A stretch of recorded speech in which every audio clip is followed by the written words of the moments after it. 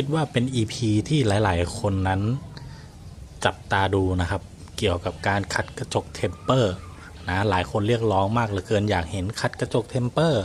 วันนี้ก็เลยไปจัดกระจกเทมเปอร์เป็นตัวบานประตูห้องน้ำนะครับ นี่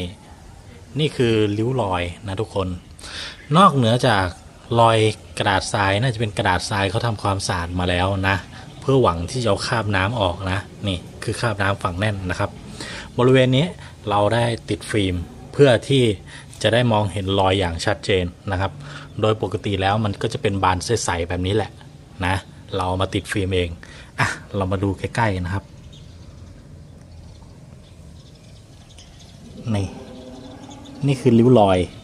นะทุกคน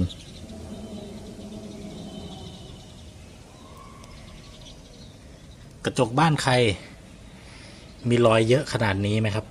มีไหมกระจกไม่ว่าจะเป็นกระจกคอนโดนะ กระจกบ้านใครมีรอยเยอะขนาดนี้ไหมมีใครให้มากกว่านี้ไหมครับ นี่ดูอะเดี๋ยวผมจะตัดภาพไปที่กล้องไมโครสโคปให้ทุกคนได้ดูนะ นี่คิดว่าน่าจะอลังการมากรอยนี้ นี่นะ เห็นนะครับว่า เนี่ย แผลค่อนข้างที่จะกว้างเลยนะรอยนี้ เดี๋ยวตัดภาพไปที่ไมโครสโคปให้ทุกคนได้ดูนะครับ สนับสนุนโดย u c a r Wash Caramel H และสูตร Training Car Detailing สนใจฝึกอบรมหรือสั่งซื้อผลิตภัณฑ์น้ำยาเคลือบแก้ว เคลือบเซรามิกกราฟีน 10H โทร0879553905 หรือ Line ID at u c a r Wash อ่าตัดภาพมาที่กล้องไมโครสโคปนะทุกคน ดูดูบาดแผลเมื่อสักครู่ที่ผมบอก นี่ กระจกบ้านใครโหดร้ายเท่านี้มีอีกไหม เดี๋ยวนะ ปรับโฟกัสก่อน ดู นี่คือบาดแผลที่ค่อนข้างที่จะใหญ่เลยนะครับ ก็จะมีรอยขนแมวเล็ก ๆ น้อยๆแต่โดยรวมแล้วหนักหนักหนาสาหัสเลยสำหรับกระจกบานนี้ ไม่ใช่รอยคัตเตอร์แน่นอนนะ โหดร้ายกว่ารอยคัตเตอร์ แน่นอนครับ กระจกบานนี้ไม่ธรรมดา นี่บาดแผล บาดแผลขนาดนี้ คุณคิดว่าขัดหายไหม เดี๋ยวปรับโฟกัสก่อน อะ เนี่ย ชัดสุดแล้วนะครับ กล้องไมโครสโคปตัวนี้ชัดสุดได้แค่นี้แหละนะ อะย้ายดูบริเวณอื่นบ้างนะครับนี่ลักษณะก็จะเป็นประมาณนี้ สาเหตุคิดว่าเขาน่าจะต้องการเอาคราบน้ำคราบฝังแน่นออกนะครับ ทุกคน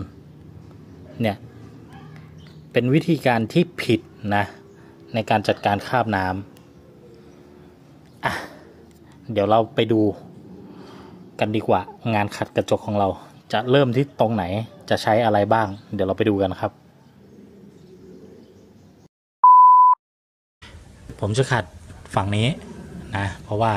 รอยตรงนี้ค่อนข้างที่จะหนักเลยนะ เดี๋ยวขัดฝั่งนี้ฝั่งนี้เราจะไม่ทำอะไรนะครับ มาเดี๋ยวมาดูกันสำหรับชุดขัดกระจกที่ผมจะใช้วันนี้เราจะใช้เป็นตัวโรตารี่กลางตัวนี้นะครับ มอเตอร์ 1,000 วัตต์ ปรับระดับได้ 6 ระดับนะ เป็นเซตกระดาษทราย 3 นิ้วนะ เราจะเอามาใช้จัดการกับกระจกเทมเปอร์บานนี้ ถ้าทุกคนพร้อมแล้วป่ะไปดูกัน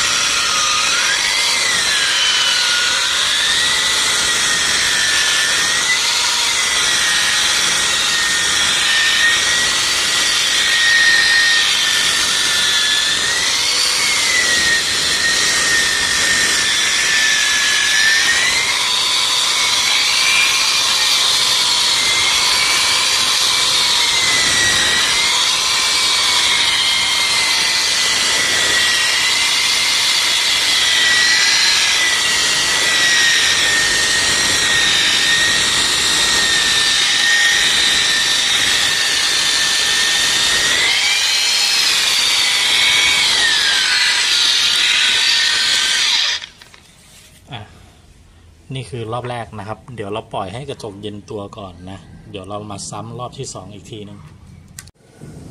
มา เดี๋ยวจะพามาดู ใกล้ ๆ นะ นี่คือรอบแรกที่เราขัดนะครับ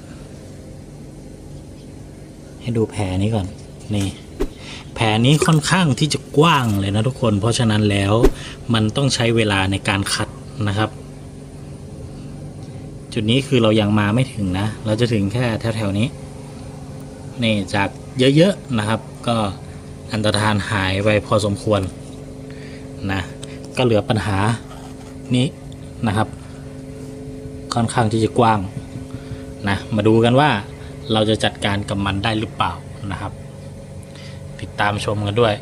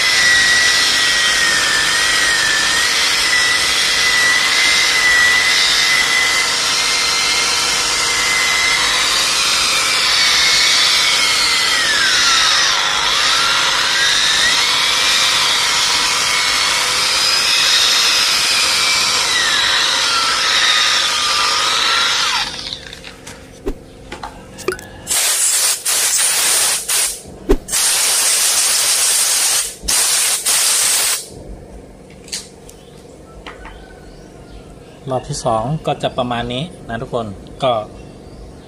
เหลือบาดแผลนี้ ยังลึกอยู่นะครับ เดี๋ยวเราจะปล่อยให้เย็นตัว แล้วเราค่อยอัดซ้ำอีกรอบหนึ่งดูซิว่าเราจะขัดแผลเนี้ยกี่รอบ มารอบที่สาม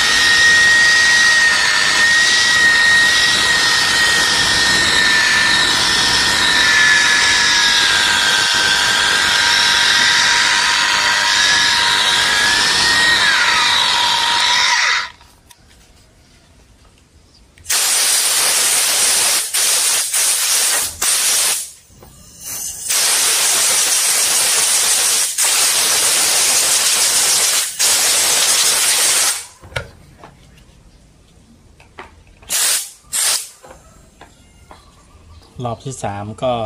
จะประมาณนี้นะครับ ไล่เกียร์บริเวณนี้ให้ทั่วนะ เดี๋ยวเราค่อยมาขยับมาอัดกับรอยหนักๆอีกทีหนึ่ง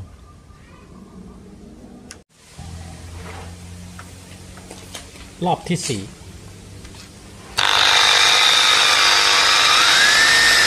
สนับสนุนโดย u c a r Wash Carousel H และศูนย์ Training Car Detailing นใจฝึกอบรมหรือสั่งซื้อผลิตภัณฑ์น้ำยาเคลือบแก้ว เคลือบเซรามิกกราฟี 10 H Pro 0879553905 หรือ Line ID Antcallwatch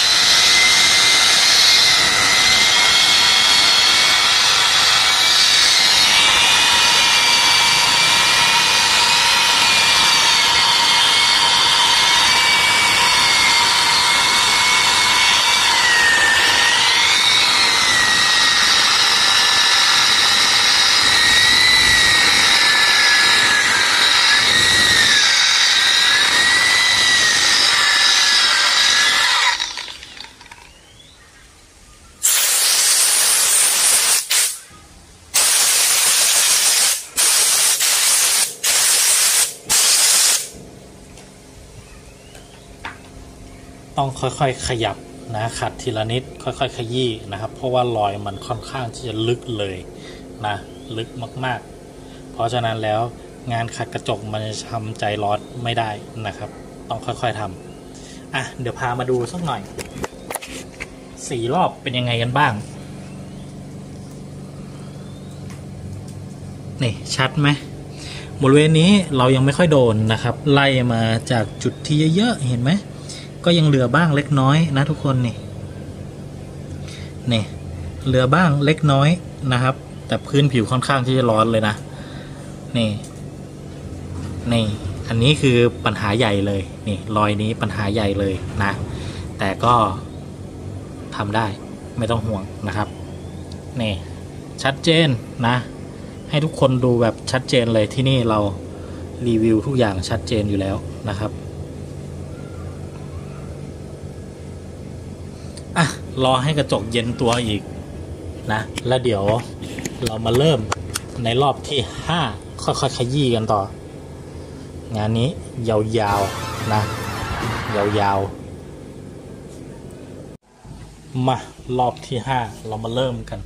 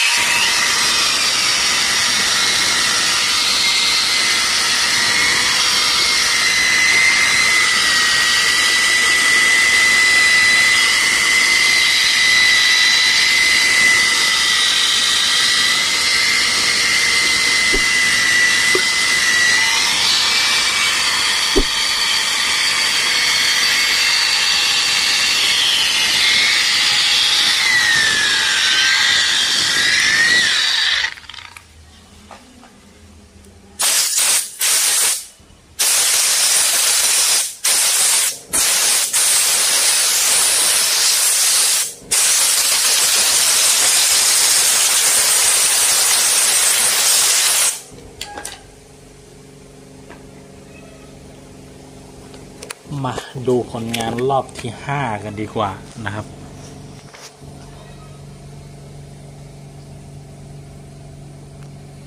นี่นะ มุมก็จะเหลือประมาณนี้นะครับ ไล่ลงมา นี่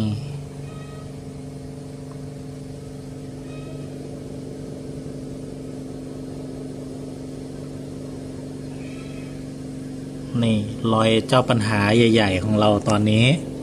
เริ่มแคบลงแล้วนะเริ่มบางลงแล้วนะครับนี่เริ่มบางลงแล้ว เหลืออยู่แค่นี้เองนะ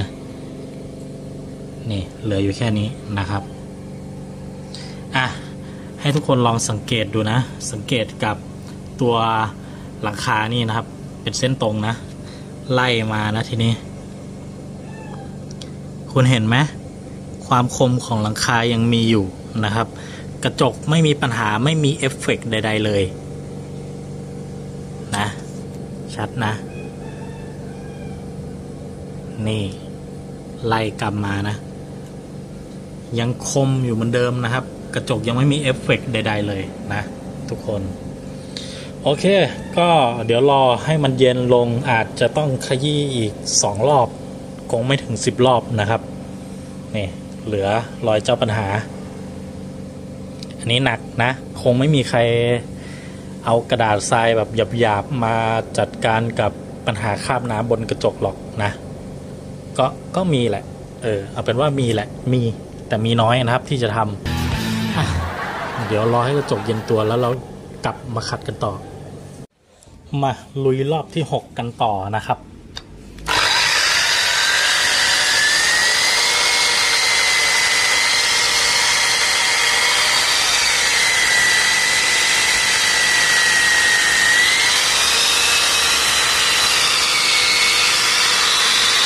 ตอนนี้รอบเครื่องใช้อยู่ที่สองครึ่งนะ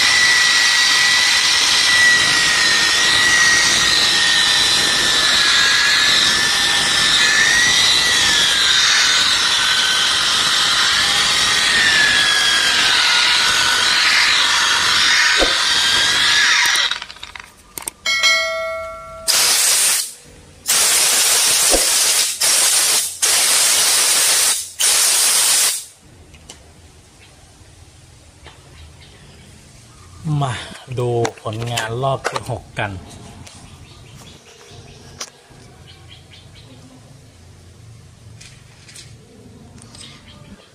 นี่เป็นไงแทบจะมองไม่เห็นแล้วนะครับ นี่ ยังเหลือ นี่ นิดหน่อยนะ เหลือนิดหน่อยนะครับ นอกนั้นเคลียร์หมดแล้ว รอยนี้ผมก็จะพอแค่นี้นะ ขัดเบอร์หนึ่งทั้งหมด 6 รอบนะ6รอบ เพราะว่าคุณก็เห็นอยู่ว่ารอยมันลึกและก็กว้างขนาดไหนนะ เราขัดทั้งหมด 6 รอบ ต่อไปเราจะขึ้นเบอร์ 2 เราจะขึ้นเบอร์ 2 นะ ก่อนอื่นรอให้กระจกมันเย็นก่อนนะครับ ใจเย็นๆและเดี๋ยวเรามาต่อ สนับสนุนโดย Ucar Watch Caramosal Edge สู่ Training Car Detailing สนใจฝึกอบรมหรือสั่งซื้อผลิตภัณฑ์น้ำยาเคลือบแก้ว เคลือบเซรามิกกราฟีน 10H4 0879553905 หรือ Line ID at Ucar Watch มาหลังจากกระจกเย็นตัวนะครับ เรามาต่อที่เบอร์ 2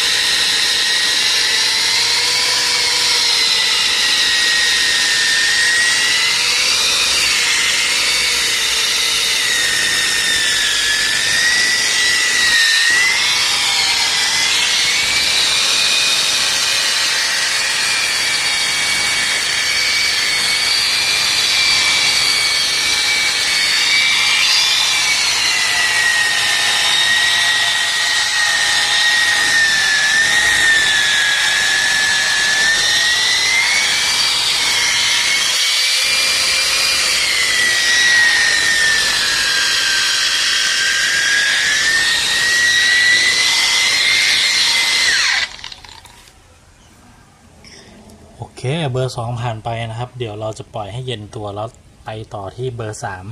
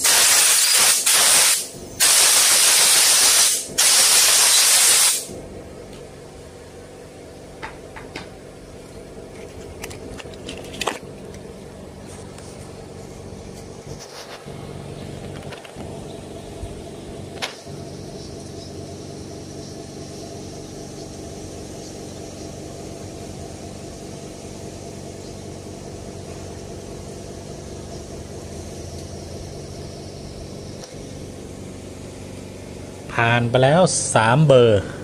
นะทุกคนสามเบอร์ผ่านไปแล้ว เดี๋ยวปล่อยให้กระจกเย็นตัวนะ แล้วเดี๋ยวเราไปต่อในเบอร์ถัดไป เดี๋ยวก่อนที่เราจะไปเริ่มเบอร์สี่นะทุกคน จริงๆแล้วเนี่ย ผมสามารถกระโดดไปขัดละเอียดเบอร์เจ็ดเลยก็ได้นะ คือเข้าในโหมดเก็บงานแล้วนะครับ ผมจะขัดแค่ 3 เบอร์นี้ โดยส่วนใหญ่นะผมจะขัดแค่ 3 เบอร์ 1 2 3 หรือ 3 4 เออ 2 3 4 ประมาณนี้นะ แล้วกระโดดไปหมดเก็บงานก็คือ 7 แล้วก็ขนแกะนะครับ แต่ทีนี้เดี๋ยวหลายคนจะคิดว่าถ้าอาจารย์ทำได้ผมก็ต้องทำได้ อันนี้บอกไว้ก่อนนะ ถ้าคุณยังเป็นมือใหม่ ยังไงก็ทำไม่ได้ครับ ทุกอย่างมันอยู่ที่การฝึกฝนหนึ่งคุณต้องเข้าใจในเรื่องของกระดาษทราย เข้าใจในเรื่องของรอบเครื่อง ทุกอย่างคือการฝึก นะถ้าคุณฝึกผ่านคุณจับได้ว่ากระดาษทรายแต่ละเบอร์ทำหน้าที่อะไร ทิ้งรอยแบบไหน คุณจะใช้แค่ 3-4 เบอร์แค่นั้นเองนะในการขัดอะดูกันจะชัดอีกทีหนึ่งขอบหลังคานะนี่ไม่มีบิดเบี้ยวนะทุกคนกระจกไม่มีเอฟเฟกต์นะครับ มา เดี๋ยวเรามาต่อเบอร์สี่กันดีกว่านะ ถ้าเป็นมือใหม่นะครับ ก็ยังไงก็ต้องมีสี่เบอร์ห้าเบอร์นะ อันนี้เบอร์สี่นะครับ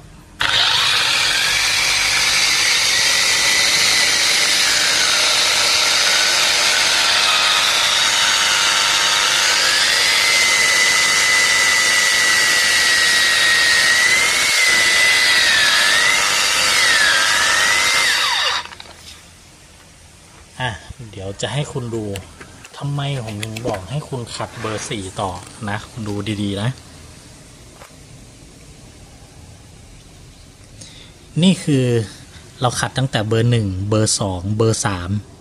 นี่คือลักษณะการทิ้งฝ้ามาทิ้งแบบนี้นะ แล้วดูเบอร์สี่นี่กระจกใสกิ๊กเลยเห็นไหมเห็นไหมสีของกระจกเนี่ย มันเป็นคนละเรื่องเลยนะครับ ถ้าคุณ จะสุดแค่ 3 เบอร์นี้นะ แล้วมาในโหมดเก็บงานขัดเบอร์ 7 แล้วก็ขนแกะทำยากนะครับ ถ้าคุณยังไม่มีความเข้าใจ แต่ถ้าคุณจะเอาแบบ safe safe เลยกระจกไม่มีปัญหาและจบงานได้แน่ๆนะ อย่างน้อยๆต้องมีเบอร์ 4 นะ แล้วคุณค่อยกระโดดไปเบอร์ 7 แล้วก็ขนแกะอะเดี๋ยวเรามาต่อนะครับ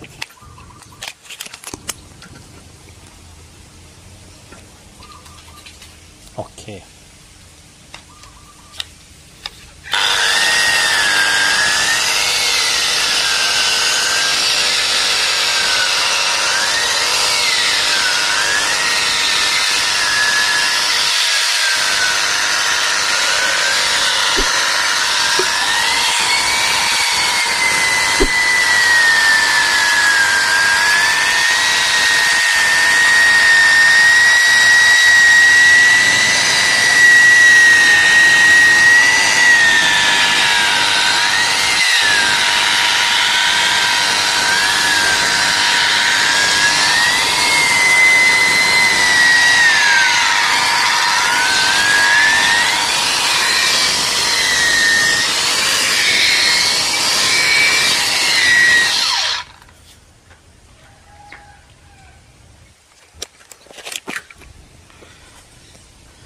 เบอร์สี่คุณจะเห็นว่า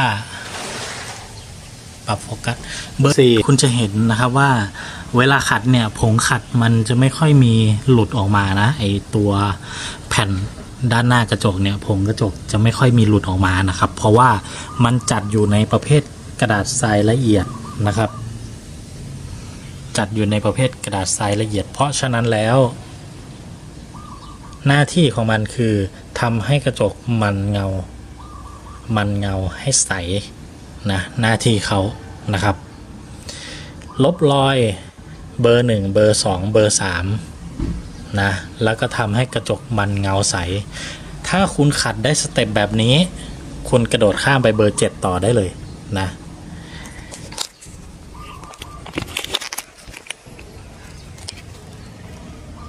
โอเค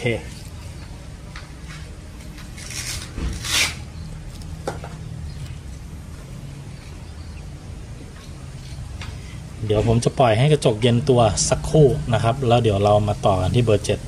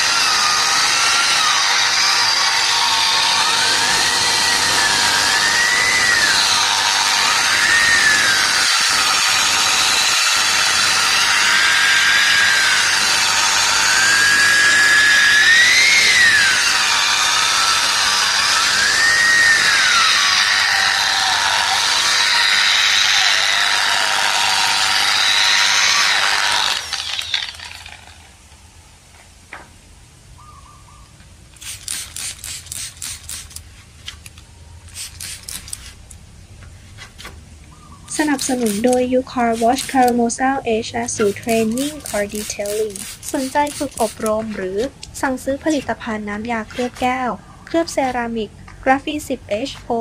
0879553905 หรือ Line ID at u c a r Wash เป็นไงสายปิ้งเลยนะครับ ก็เดี๋ยวปล่อยให้กระจกเย็นตัวแล้วเราเดี๋ยวมาเก็บงานกับขนแกะอีกทีหนึ่ง อะ เดี๋ยวจะให้ดู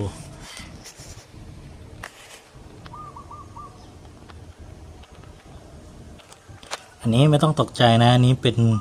ภาพของตัวกระดาษทรายเมื่อกี้นะเพราะว่าหน้าสัมผัสมันแบนเรียบแนบชิดเกินนะ บวกกับเราใช้รอบที่สูงหน่อยกับน้ำน้อยนะครับ มันก็เลยทิ้งคราบแบบนี้นะ ไม่ต้องห่วงมันแก้ได้นะครับ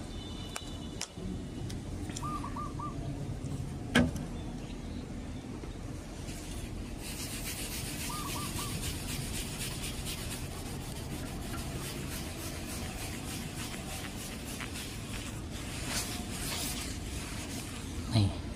เห็น ไหมบอกแล้วไม่ได้มีอะไรน่าตกใจนะครับ นี่ เป็นไงความคมชัดของโครงหลังคาชัดแจ๋วเลยนะจะไม่เห็นว่ามีเอฟเฟกต์ก็คือกระจกย่นบิดเบี้ยวอะไรเลยนะครับ นี่ ทุกอย่างยังคม คมมากนะครับ ตรงเลยนะอะ ปล่อยให้กระจกเย็นตัวสักครู่นะครับ แล้วเดี๋ยวเรามาต่อกันที่งานขัดขนแกะ แล้วเดี๋ยวเรามาดูสรุปกันว่าเป็นยังไงบ้างนะครับ ตอนนี้กระจกเริ่มเย็นตัวแล้วนะครับอะเดี๋ยวผมจะให้พวกคุณดูอะไรอย่างหนึ่งก่อนนะครับ คุณสังเกตเห็นไหมสังเกตตรงไฟแฟลชนะครับ มันจะมีขนแมวเล็กๆ น้อยๆแบบนี้นะ อันนี้ไม่นับรวม รอยใหญ่ ๆ นะ นี่นะให้ดูว่ามันมีลักษณะรอยขนแมวแบบนี้นะครับ เราจะไล่มาบริเวณที่เราขัด อันนี้มันติดขอบนะ ไม่ต้องไปซีเรียสไม่ต้องไปโฟกัสกับมัน นี่เห็นไหมรอยขนแมวแทบไม่มีเลยนะครับ นี่เหลือน้อยมาก ๆเลยนะ อันนี้เราอยู่ในโหมดแค่กระดาษทรายล้วนๆเลยนะ กระดาษทรายล้วนๆ นะครับ ยังไม่ถึงขัดขนแกะเลยนะ ให้ดูความแตกต่าง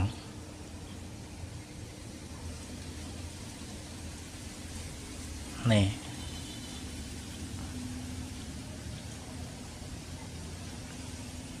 อะเดี๋ยวเรามาเริ่มเก็บงานนะครับ เดี๋ยวเราใช้ขนแกะในการเก็บงานนะ มาถึงขั้นตอนการเก็บงานนะครับ อันนี้จะใช้ขนแกะ 5 นิ้วนะ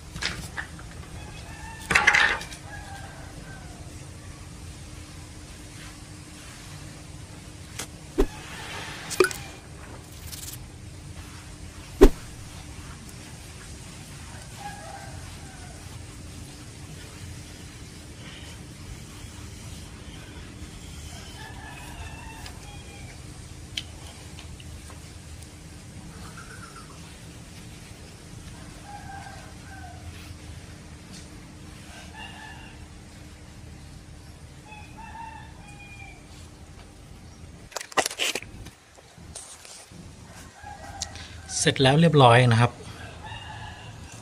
อะ เรามาดูรอย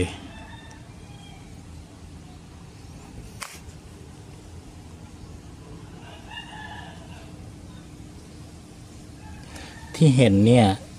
ข้างใต้นะครับ อยู่ด้านล่าง พวกนี้คือรอยอยู่ด้านล่าง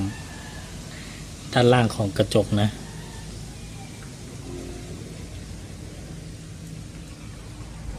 นี่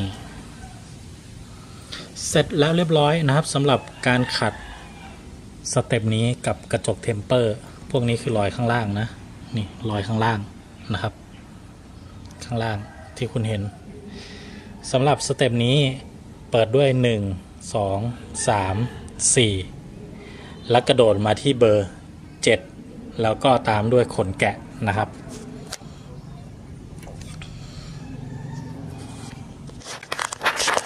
เดี๋ยวนะเดี๋ยวปรับโฟกัสกัน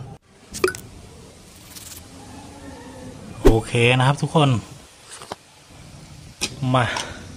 สำหรับใครที่อยากเรียนขัดกระจกนะครับ สามารถติดต่อสอบถามได้ เรียนขัดกระจกนะ เราสามารถสอนคุณได้นะครับ ส่วนใครอยากใช้บริการไม่ว่าจะเป็นขัดกระจกบ้านกระจกรถกระจกคอนโดนะครับ ก็แอดไลน์เข้ามานะครับ ID ไลน์ at sign นะครับ ยู่คาวอตตรงตัวนะหรือไม่โทรมาที่เบอร์ 0879553905 นะครับ โทรมาปรึกษาโทรมาพูดคุยกันนะครับ กระจกบ้านกระจกคอนโด หรือว่าจะเป็นกระจกพูลวิลล่าต่างๆนะ ทักมาได้นะครับ นี่คือกระจกเทมเปอร์ ประตูอาบน้ำประตูตู้อาบน้ำนะ จบนะครับ นี่ ชัดเจน จากรอยหนักๆแบบนี้นะครับ หายเกลี้ยงเนียนกลิบเลย เอาละฝากไว้นะครับ ก็ถ้าชอบคลิปนี้อย่าลืมกดไลค์ กดแชร์ กด Subscribe ให้ด้วยนะครับ ไปละพบกันใน EP ถัดไป สนับสนุนโดย u c a r Watch Caramel H และสู่ Training Car Detailing สนใจฝึกอบรมหรือสั่งซื้อผลิตภัณฑ์น้ำยาเคลือบแก้ว เคลือบเซรามิกกราฟี10 H โทร0879553905 หรือ Line ID at u c a r Watch